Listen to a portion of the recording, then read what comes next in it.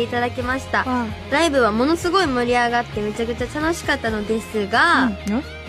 翌日に観光で NMB シアター近くの千日前あたりを歩いている時に少し不思議な体験をしてしまいました。なんだよ。何もないところで急にお線香の匂いがしたり、うん。飲み物をいくら飲んでも喉がものすごく乾いたような感じになったりなど。うん。その時はあんまり気にしてなかったのですがうん。改めて後で調べてみると同じような体験談が載ってたりして、ん。普段は霊感などのかけらもない私にとっては少し怖い体験でした。そこで質問ですがお二人は何か不思議な体験などはしたことありますか、うん。他のメンバーから聞いたことでも何かありましたらぜひ教えてください。この時間のこの話怖いな。怖いな。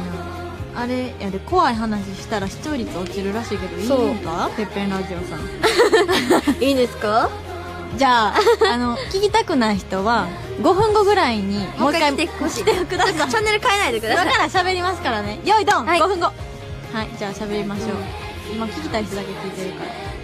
それはまあ2パターンあると思う。それ気のせいか、まあほんまか、でも調べて同じような体験談が載ってたり劇場も結構やばいんですよ。そうなんですよ、そうあのえ私たちの NL48 シアターのはい地下にあるんですけど、うん。結構心霊写真されちゃったりあして。そうなん？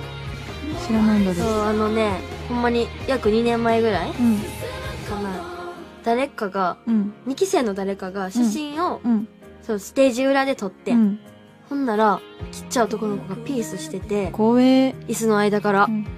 ほんで多分ちゃんとお話してもらったかなしやけど、結構ありますよ NMB のシアター、ね。ね。え 怖いね。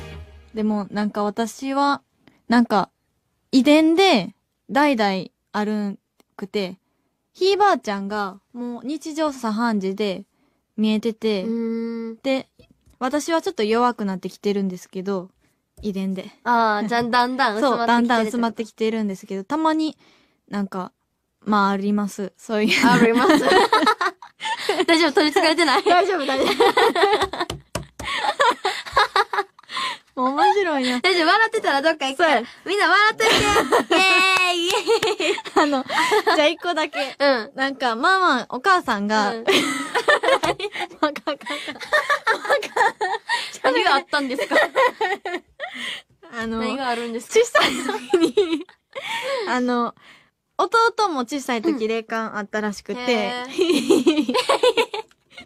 保育所、どうしよう取り憑か保れて育所の、怖い怖いやめやめカンカンカンカンカン。カンカン怖い怖い。帰ってきても5分経ったよ。はぁやめよう。怖っ。さあまあこのねつぶらのゆずさんはそんな気のせいだと思うので、しかも夏やし、のどかそうやでの普通やし、お線香も売ってるし、うん。そういうことだと思います。はい気にしないでください。さあ、このように感想や質問などどんどんメッセージをください。宛先は NMB。怖い子。あの、マーク。ちょっとマーチュン言んで。マーチュン今日だけ。待っていただきました。あライブはものすごい盛り上がってめちゃくちゃ楽しかったのですが、うん翌日に観光で NMB シアター近くの千日前あたりを歩いている時に少し不思議な体験をしてしまいました。なんだよ。何もないところで急にお線香の匂いがしたり、うん飲み物をいくら飲んでも喉がものすごく乾いたような感じになったりなど、うん。その時はあんまり気にしてなかったのですが、うん改めて後で調べてみると同じような体験談が載ってたりして、ん普段は霊感などのかけらもない私にとっては少し怖い体験でした。そこで質問ですが、お二人は何か不思議な体験などはしたことありますか、うん他のメンバーから聞いたことでも何かありましたらぜひ教えてください。この時間のこの話怖いな。怖いな。あれやで、怖い話したら視聴率落ちるらしいけど、いいのか？てっぺんラジオさん。いいですか？じゃあ、あの、聞きたくない人は、5分後ぐらいに、もう一回もう一回来てほしい来てください。チャンネル変えないでくだ今さい。から喋りますからね。よいどん、はい5分後。はい、じゃあ喋りましょう。今聞きたい人だけ聞いてるから。それは、まあ2パターンあると思う。それ気のせいか、まあほんまか。でも調べて、同じような体験談が載ってたり、劇場も結構やばいんですよ。そうなんですよ。そうあのえ私たちの MM48 シアターの地下にあるんですけど、うん結構心霊写真撮れちゃったりあしてそうなん？